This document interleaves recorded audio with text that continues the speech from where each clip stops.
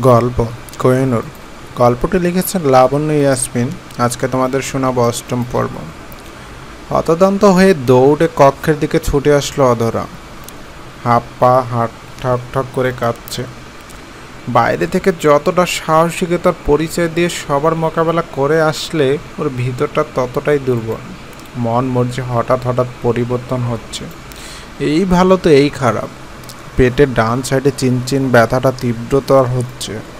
বাইরে গিয়ে এতক্ষণ যে অঘটন ঘটিয়ে আসলো জুবাইর জানলে না জানি কি হবে। এরা দুই ভাই দুই রকমের। একজন ঠান্ডা মাথার আরেকজন উন্মাদ। অতরা কক্ষে প্রবেশ করে হাঁপিয়ে উঠল। ক্লান্ত শরীর নিয়ে বিছানায় বসতে গেল কিন্তু পারল না। জুনায়েদ যে ওর জন্য অধীর আগ্রহ নিয়ে দাঁড়িয়ে আছে সেদিকে ওর লক্ষ্য ছিল না। জুবাইয়ের চোখ মুখ শক্ত হয়ে আছে। এক টান দিয়ে অদরকা শক্ত করে ধরে বলল, কোথায় গিয়েছিলে? অদরা ঢোক গেল ভয়ে ভয়ে বলল, নিচে গিয়েছিলাম। আপনার ভাইয়ের সঙ্গে দেখা হয়েছে। কথাটা শুনে জুবাইর ওকে ছেড়ে দিল, তাল সামলাতে না পেরে অদরা বিছানার উপরে ঠাস করে পড়ে গেল। জুবাইয়ের চোখ মুখ বিস্ময়, কোনো রকম নিজেকে সামনে নিয়ে বলল, ওর সঙ্গে কীভাবে কি? তুমি আমাদের পিছনে ষড়যন্ত্র করছ। এই বাড়ির রহস্য ঘাটতে উঠে পড়ে লেগেছো, তাই না? শুনো মেয়ে, নিজের ভালো পাগলে বুঝে। শান্তিতে খাও, ঘুমাও, বাচ্চা হোক, আমি নিজেই তোমাকে ছেড়ে দিব। একবার যদি ঘরের বাইরে পা বাড়িয়েছ, খুন করে ফেলব। করে ফেলুন খুন, কে আটকে রেখেছে? জুবাইর ফারুকি একটা স্বার্থপর মানুষের নাম। যে স্বার্থের জন্য নিজের বিবাহিত স্ত্রী আর অনাগত সন্তানদের রক্ত দিয়ে কালো জাদু পিতার সাধনার জন্য বলি দিতে চলেছে। জুবাইর নিজেকে ধরে রাখতে পারল না, থাপ্পড় বসিয়ে দিল অধারার গালে। তাতে দাঁত চেপে বলল আজে বাজে কথা বলে আমার রাগিয়ে দিতে তোমার ভালো লাগে, তাই না? কতবার বলেছি, রাগিও না, আমার কথা শুনছো না। অধরা এবার নিজেকে নিয়ন্ত্রণ করতে পারল না। দ্রুত টেবিলের ওপর রাখা খঞ্জরটাকে উঠিয়ে নিজের হাতে একটা টান দিয়েও দিল। ঝরঝর করে রক্ত পড়ছে। ও সেসব তোয়াক্কা করল না। জুবাইয়ের হাতের মুঠোয় খঞ্জরটা তুলে দিয়ে বলল, খুন করে ফেলুন। এভাবে যন্ত্রণা দিয়ে না মেরে আমি মারা যাচ্ছি। বুঝতে পারছেন? আপনাদের স্বার্থের জন্য আমি কেন যন্ত্রণা পাবো? তা আমার কী লাভ বলুন? খুন করে আমাকে মুক্তি দিন। আর পারছি না আমি। একদিকে আপনার বিশ্বাসঘাতকতা, অন্যদিকে কোহিনুর রহস্য, আমি পাগল হয়ে যাচ্ছি। জুবের প্রতিবাদ করল না, দ্রুত অদরার হাতটা মুঠে নিয়ে বসিয়ে দিল। অদরা ধস্তাধস্তি করল, হাত ছাড়িয়ে নিতে কিন্তু পারল না। জুবের জোর করে ওর হাত ব্যান্ডেজ করে চুপচাপ ওর পাশে বসে পড়ল, দীর্ঘ নিঃশ্বাস ফেসে বলল, আমি নিরুপায় অধরা। আমি চেয়েও পারছি না তোমাকে মুক্তি দিতে। আমি তোমাকে ছেড়ে দিলে ওরা ছাড়বে না। অতটা ফুপিয়ে চলছে। এভাবে বেশ কিছুক্ষণ অতিবাহিত হলো। হঠাৎ জুবাইয়ের কাজে ওর ধ্যান ভাঙল। ছেলেটা চুপচাপ ওর পায়ে শিকল দিয়ে আটকে দিচ্ছে। অদরা চমকে উঠে পা ছাড়িয়ে নিল, কিন্তু ততক্ষণে যা হওয়ার হয়ে গেছে। জুবাইয়ের পাশে রাখা কাপড় ভিজিয়ে অদরার মুখ মুছিয়ে দিয়ে বলল, এটাই তো আমার জন্য ঠিক আছে। ভেবেছিলাম তোমার থেকে দূরে থাকব, কিন্তু না। তোমার তো সহ্য হলো না। স্বামীকে কাছে রাখতে যত সব আজে বাজে কাজকর্ম করছ। আমি আজ থেকে এখানেই থাকব। আমার নজর তোমার উপরে থাকবে। জুবাই শেষের কথাগুলো দাঁতে দাঁত চেপে বলল, মেজাজ ওর প্রচণ্ড খারাপ, এই মেয়েটা অতিরিক্ত ঝামেলা করছে। এরকম হলে সব উল্টাপাল্টা হয়ে যাবে। অদরার কান্না থেমে গেছে, নিজের উপরে প্রচণ্ড রাগ হচ্ছে। কীভাবে এরকম বোকামি করতে পারল? জুবাইর যে এভাবে ওকে আটকে দেবে কখনো ভাবেনি। এতটা উত্তেজিত হওয়া উচিত হয়নি, একদম ঠিক হলো না। জুবাইর ওর মুখের দিকে তাকিয়ে ওষ্ঠে হাসি এনে বলল, বাঘিনী, বিড়াল হয়ে গেল, দম ফুরিয়ে গেল। আহারে, আমার বউ আমার মতোই হয়েছে। এত মাথা গরম ভালো না বুঝলে। দেখলে তো কীভাবে নিজের পায়ে নিজেই কোড়াল মারলে। অদরা ঝুলে উঠল। যা হওয়ার তো হয়েই গেছে, এখন আর চুপ থেকে কি হবে? ধাঁধালো কণ্ঠে বলল, আপনিও যেমন আপনার ভাইও তেমন। ভেবেছিলাম আপনি ওনার থেকে ভালো, কিন্তু না। উনি ভাইয়ের বিধবা স্ত্রীকে বিয়ের স্বপ্নে আপনার মৃত্যুদিন গুনছেন। কোনো এক তুষারপাতের রাতে আমাকে সাহায্য করেছিল, তার শোধ তুলতে চাইছে। চরিত্রের দোষ সে দুজনেই দূষিত। জুনায়দের চোখ জলে উঠল, অধরা কথা শুনে কিন্তু এবার আর প্রতিবাদ করল না। চুপচাপ ওকে জোর করে শোয়াই দিয়ে ওর পাশে নিজেও শুয়ে পড়ল, শুধু বলল, ঘুমাতে দাও আর নিজেও ঘুমাও। জুবাইর বালিশে মুখ ঢেকে নিল অধরা ভুরু কুচকে আছে। লোকটার মতিগতি বোঝা মুশকিল, জীবনটা মেকা সিরিয়ালের মতো হয়ে গেছে। প্রতিদিন এক ঘটনা ঘটছে অধরা বিরক্তি হলো, হাতে যন্ত্রণা করছে। এটা অতিরিক্ত ছিল। খামাকা হাতটা না কাটলেও চলতো। রাগের সময় মাথা কাজ করছিল না।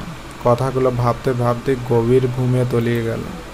ভোরবেলা চিল্লাচিল্লি আর হইচই শুনে ওর ঘুম ভাঙল। দ্রুত বসে পড়ল, জুবাইর এখনও ঘুমিয়ে আছে। অধরা ওকে ধাক্কা দিয়ে বলল, শুনছেন, বাইরে কিছু হচ্ছে। জুবাইর ঘুম ঘুম কণ্ঠে চোখ বন্ধ করে বলল, হতে দাও, বিরক্ত না করে ঘুমাও। কুম্ভকর্ণের মতো না ঘুমিয়ে বাইরে গিয়ে দেখে আসুন, চিৎকার চেঁচামেচিতে আপনাদের পাপের অট্টালিকা নড়ে উঠেছে। ধ্বংস হলে ঘুমের বারোটা বেজে যাবে। ঘুমানো ঘুচে যাবে জন্মের মতো। অধরা দাঁতে দাঁত চেপে কথাগুলো বলে থামলো। জুবাইর বিরক্তি নিয়ে উঠে বসল। এই মেয়েটা সবসময় কথা শোনানোর জন্যই মুখিয়ে থাকে। সুযোগ পেলেই ঝাড়ি দিতে সময় নেবে না। কথাগুলো বিড়বিড় করেও বেরিয়ে আসলো।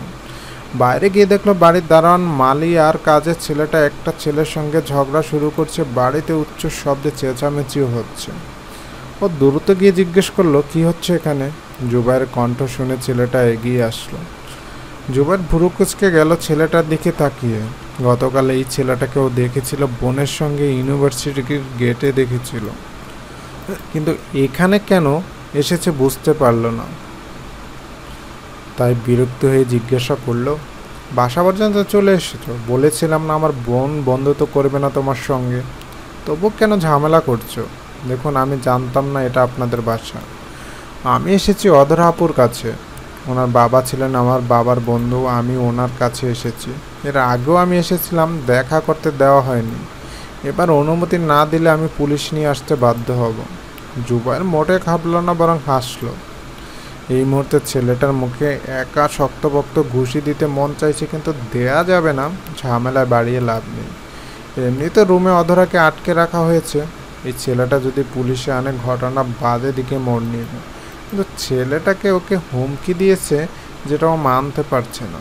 জুবাইর ভুরু নাচিয়ে বলল, পুলিশ বাচ্চা আমি নিজেই ফোন করে বলছি, আমার স্ত্রী নিজের কোনো আত্মীয় নেই, অথচ কে না কে আত্মীয় পরিচয় দিয়ে বারবার আমাদের সবাইকে বিরক্ত করছে। খারাপ উদ্দেশ্য থাকতে পারে, মিস্টার। কি জানি নাম? ছেলেটা ক্ষুদ্ধ হয়ে বলল আয়াত ইসলাম, দেখুন আমি কিন্তু আজ এমনি এমনি ফিরবো না। ডাকুন ওকে এক বছর ওর সঙ্গে দেখা করতে দেননি। এই খুন টুন করে গুম করে দেননি তো, আমি শিওর এটাই করছেন। পাক্কা শয়তানের হাড্ডি আপনারা।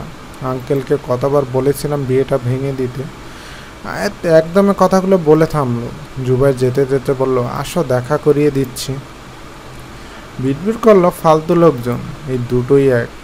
সামনে নির্বাচনে দাঁড় করিয়ে দেব আর কিছু না পারলেও মুখ চালাতে পারবে। জুবাইর বিরক্ত হচ্ছে, বোঝা যাচ্ছে আয়াত সেসবে পাত্তা দিচ্ছে না। বাড়ি থেকে আসার সময় বাবা মাকে কথা দিয়ে এসেছে, মেয়েটাকে সঙ্গে নিয়ে ফিরবে। পাশাপাশি বাড়ি ছিল। ওরা একসঙ্গে বড় হয়েছে ভাই বোনের মতো মিলমেশ ছিল। হঠাৎ বিয়েটা সব তছনাস করে দিল। জুবাইর ওকে নিচে বসিয়ে রেখে উপরে আসলো। অদরা বিছানায় বসে আছে, পায়ে শিকলের যেন ফ্রেশ হতে পারছে না। জুবাই দ্রুত এসে শিকল খুলে দিয়ে গম্ভীর মুখে নিয়ে বলল, মুখ খুললে কিন্তু খারাপ হবে, তোমাকে কিছু করতে না পারলেও ওকে কিন্তু ছাড়বো না। আমাকে চিনো, মাথা গরম হলে খবর আছে অদরা অবাক হলো, সাত সকালে জুবাইর কাকে মারার হুমকি দিচ্ছে বুঝতে পারল না। বুড়ো কুচকে বলল, বুঝতে পারলাম না। আয়াত এসেছে তোমার সঙ্গে দেখা করতে, তুমি কয়েকটা ভালো মন্দ কথা বলে ওকে বিদায় করবে। আমি কিন্তু জানি, খুন করে দিবেন। ওটা ছাড়া তো আর ডায়লগ জানেন না। চলুন দেখা করে আসি। বুকের মধ্যে চাপা উত্তেজনা চাপিয়ে রাখলাম মুশকিল। অতটাও বেশ খুশি হয়েছে। মনের মধ্যে একটা পরিকল্পনা ঘুরপাক খাচ্ছে। এখন শুধু বুদ্ধি দিতে কাজ করতে হবে। আল্লাহর উপরে ভরসা করে নিজেকে শান্ত রেখে নিচে নেমে আসলো। আয়াত এতক্ষণ বসেছিল, হঠাৎ অদরাকে দেখে দৌড়ে গিয়ে জড়িয়ে ধরে বলল আপু, কেমন আছো তুমি? কতদিন দেখা হয়নি? আম্মু, তোমার কথা ভেবে কাঁদেন প্রতিদিন। তুমি জানো আম্মু অসুস্থ, তোমাকে দেখতে চেয়েছে। তুমি যাবে না? অতটা চোখের পানি চলে আসলো। রক্তের সম্পর্ক নেই, তবুও ছেলেটা ওকে নিজের বোনের মতোই ভালোবাসে। অদরা ওর মাথায় হাত রেখে বসিয়ে দিয়ে বলল, যাব আয়াত, নিশ্চয়ই যাব। আন্টি অসুস্থ আর আমি যাব না, এখন হয় নাকি? অনেক ভুল হয়েছে আমার, তোদের খবর নেওয়া হয়নি। আসলে আমার তো ফোন নেই, তোর নাম্বারটাও রাখা হয়নি। জুবাইর এদের দুজন কথাবার্তা বিরক্ত হচ্ছে। এই দুটো বাড়ি থেকে যাওয়ার পরিকল্পনা করছে, আটকাবে কীভাবে? না যেতে দিলে তো আবার কাহিনী করবে। ওর বাবা মা আজ বাড়িতে নেই, একজন অসুস্থ মানুষকে দেখতে যেতে মানা করাও যায় না। জুবাইর পড়ে গেল বিপদে, যেতে দিবে না বলেও শেষমেশ সদরাকে যেতে দিল। তবে ওকে একা ছাড়বে না। সঙ্গে ও ছোট বোন আর কাজের মেয়েটাকে সঙ্গে নিল। ফাঁকি দেওয়ার কোনো অবকাশ নেই। অদরা যেন হাফ ছেড়ে বাঁচল। এক বছরের বন্দি জীবনের সমাপ্তি ঘটতে চলছে। ও দ্রুত গিয়ে লাগেজ গুছিয়ে নিল, লুকিয়ে শাশুড়ির দেওয়া জিনিসপত্রগুলো সঙ্গে নিয়েছে। ওখানে যাওয়ার উদ্দেশ্য হচ্ছে বাবা মায়ের ঘর তল্লাশি করা। সেখানে নিশ্চয়ই কোনো গুরুত্বপূর্ণ কিছু কুলু থাকবে। কোহিনুরের কাহিনী জেনে নিয়েছে। এবার জুবাইয়ের পরিবারের কাহিনীটা জানতে পারলে মোটামুটি পালিয়ে গেল শান্তি। সুলতান আরমান ফারুকের ইচ্ছে মতো বকাবকি করছেন বাড়ির সকলের উপরে। উনি জুবাইয়ের উপরে বিরক্ত। এই ছেলের জন্য যে উনিয়ন ধ্বংস অনিবার্যতা হতে চলেছে সেটা বুঝতে বাকি নেই। কীভাবে সে ভাই বোনদের ভবিষ্যতের কথা ভুলে গিয়ে বউকে নিয়ে শ্বশুর বাড়িতে যেতে পারে, এটা ওনার মাথায় আসছে না। এই বাড়ির পাটা মেয়ে আর একটা ছেলের ভবিষ্যৎ জুবাইয়ের উপর নির্ভর করছে। এই একটা সুযোগ উনি কত চেয়ে পেয়েছেন সেটা শুধুমাত্র উনি জানেন। বড় ছেলেটা আধার রাতে জীব হয়ে গেছে, আলোতে আসতে পারে না। মেয়েগুলোর বিয়ের কথা ভাবা যাবে না, বিয়ে মানে কারও তরতাজা রক্তের গন্ধে সুলতান বাড়ি ভরিয়ে তোলা। এভাবে চললে এই বংশ বিলুপ্ত হতে সময় নেবে না। উনি বারবার জুবাইয়ের কাছে ফোন দিচ্ছেন। কিন্তু ছেলেটা ধরছে না। আরমান ফারুকি ফোনটা আছাড় দিলেন চোখ মুখ শক্ত করে ভাবলেন, যাকে দিয়ে কাজ হবে না, তার উপরে মায়া রেখে কী হবে? এখন জুবাইর না থাকলেও চলবে। ভুলতেটি মার্জনা করবেন, হুট করে রহস্য বলে দিলে গল্পটা একদিনে শেষ হয়ে যাবে। আমি আপাতত চাইছি না, কারণ সামনে আরও কিছু ঘটতে চলেছে। চলবে বন্ধুরা, গল্পটা কেমন হলো তা কিন্তু জানাতে ভুলো না। আজকের মতো এখানে রাখছি, আল্লাহ হাফেজ।